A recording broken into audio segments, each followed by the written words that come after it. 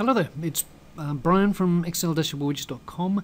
Um, very quickly I'm going to show you how to configure this new um, color change thermometer widget that we created. Um, it's color change as in if the um, if the levels fall within the cutoff values um, you get both a traffic light effect and a thermometer effect um, going on at the same time. So uh, here it's gone below our cutoff value of 6%, so it's turned red, the bulb mercury's turned red, and the, uh, and the, and the column has changed red. Um, if it's above 6%, um, as it is now, 33% over here, it turns green that tells you everything is fine. Um, we designed this widget in response to a request on the forum from Nuli Karan back in September. He said, I'm using the, the standard thermometer, um, which didn't change colours. Um, and he basically he's asking us if it goes below 6%, um, which is his error rate uh, for checking um, applications, um, can you flag this up? can you turn the thermometer red? Um, is there any way to achieve this? Um, we've actually had another request um, saying how to how to set this up. So let's go ahead and we'll do that right now. Um, okay, so let's start a new workbook. Go to File, um, New, Blank Workbook, Create. Okay, we're going to go back. Um, okay, in the new workbook, we're going to create three tabs, uh, which is the approach that we that we always use when we're making um, dashboards. So the first one is going to be my dashboard, um, which is where we'll paste these, these widgets. The second one is going to be my configuration page, which is where we post the um, configuration data um, that will feed these widgets. And the first one, the third one is my calculations page. Okay, so let's go back to the dashboard tab. Um, go to the unlocked version um, of the widget over here. Just select the edge to select the, the widget. Control C to copy.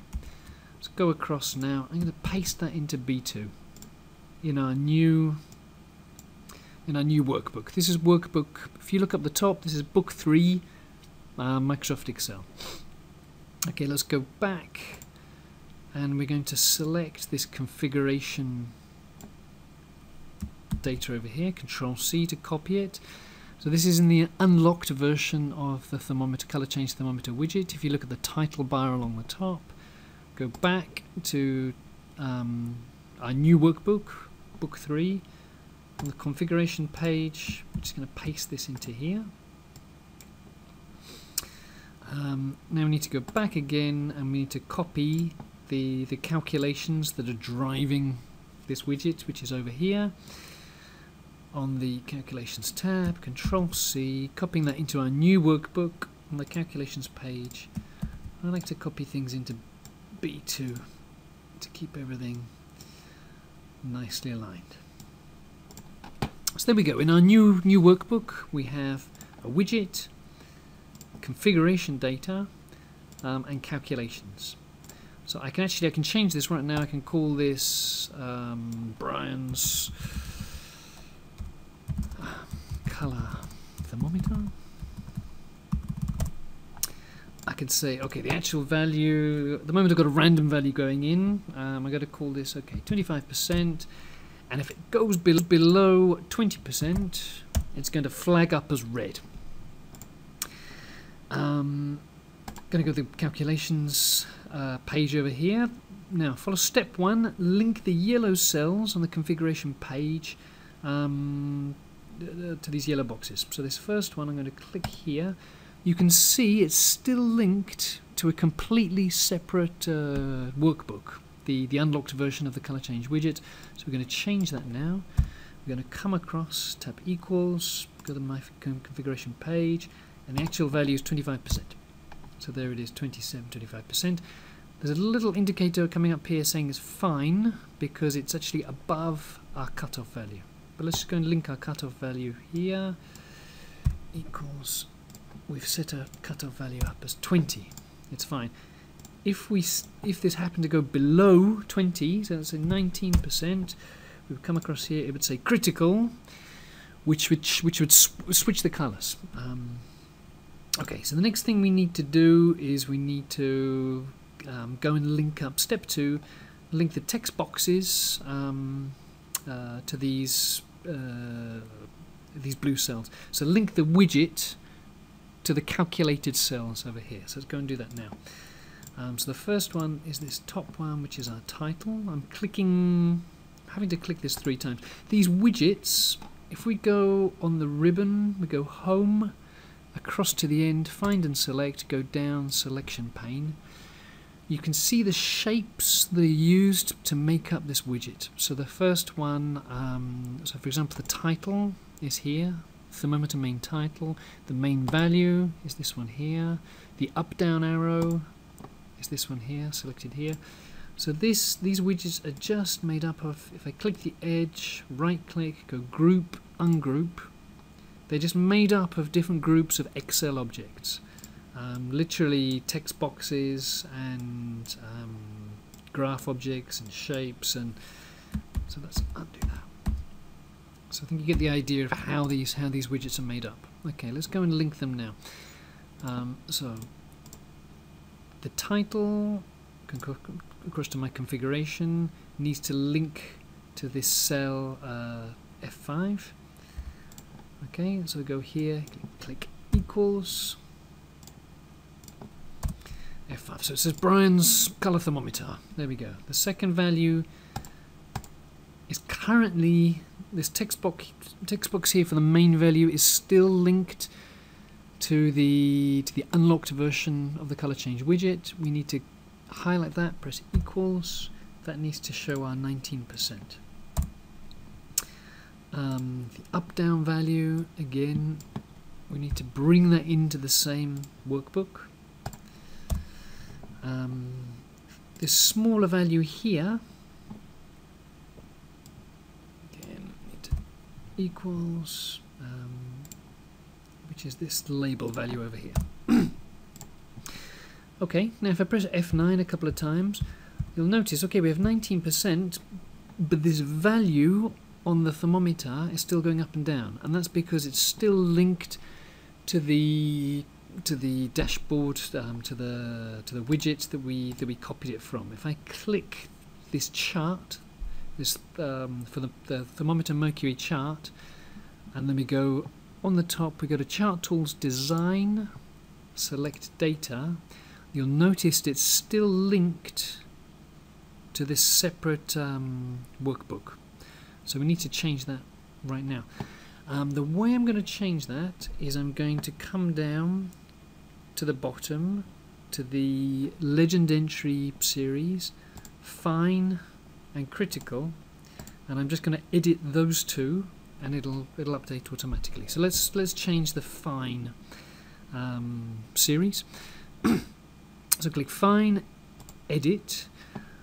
You'll notice for the series name, it's linked across on the unlocked version here. If we look in the header bar at the top, it's still linked to the unlocked version. Let's change that now by clicking this red little arrow. Let's link this now to our book 3 my calculations page and the and the name fine over here and drop that in. Um, let's go to the second value, 10%. You'll see it's still linked, it's going back across into the unlocked version of the color change thermometer widget. Um, it's picking up this 10% value at the top next to fine. So this is for the bar chart. Fine 10%. Let's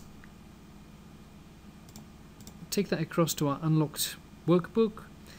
We want that to be linked to this cell here, exactly the same cell, um, but on but in our new workbook. If you look at the header along the top, it says book three. So let's drop that in now. Um, and click OK.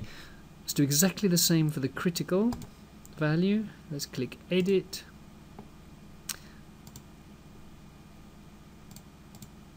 Come across to our new workbook selects the name. For the actual, for the series value, you'll see it's still linked to the other um, workbook, the unlocked workbook. Now we're picking up the lower value for the bar chart, the critical value for the bar chart. Let's link that to our new workbook, our calculations page, the critical value, drop that in. Okay, so now the um, the thermometer um, the, the mercury on the thermometer changes color automatically and matches the 19% value that we have in our um, my configuration page. If I put that up to, for example, 99%, it'll turn green and it'll go to 99%. If I bring that back down to below our cutoff, um, it'll it'll change color and it'll if I put it to, to for example 10%, which is lower than our cutoff of 20 where it changes color it'll come back over here it'll go down to 10% it'll change red. Um, the second thing we need to change now is the color of this um, of this pie chart actually down the bottom that changes color this pie chart here um, basically changes between uh, red and green depending on the value. If you look in the um, in the address bar, it's still linked. This series is still linked to the unlocked version of the color change widget where we pasted the widget from. So let's change that now. Go to Chart Tools, Design, select Data, and we're going to do exactly the same thing. Just come down to the Legend Entry Series 1 and we're going to edit that. Click edit. Um, in this case we're just changing the series values. If I click the red arrow it'll take us to the unlocked version um, of the of the widget. You can see that's pulling in data for the pie chart those last two values. We need to change that to our new workbook. And again selecting those last two values on the end Press down to drop them in. Okay. Okay. And now um, that's it, basically. Okay. So in our in our in our new widget, Brian's color thermometer, um, let's change the values now. Uh, let's say we'll make a cutoff of 50. We'll take that up to 75%. You'll see we'll have a green thermometer um, showing 75%. Everything's fine if that falls below our cutoff value 50, so I'm going to make this 49%, it'll be red, showing 49%. Um, there we go. Um, I hope that's helped you set up this um, this color change thermometer widget. Um, we actually really like this widget, and I think what we're going to do is we will set it up so it'll have three values to be a proper a proper traffic light: um, green, um, amber and red. Um, obviously, going into red if it um, if the if the metric turns critical, and green if it's if it's on track. Um, so there we go. If you have any comments about this widget, please feel free to um, post them in the forum. If you have any questions about this widget, um, feel free to post it in the forum as well. Um, subscribe to these videos uh, as well within YouTube. Just the hit the subscribe button. Um, and as we post, as we create new widgets, um, as we change this widget and um, improve it, um, then you'll get updates as well. So uh, thanks a lot. Um, it's Brian from Excel Dashboard Widgets. Until next time.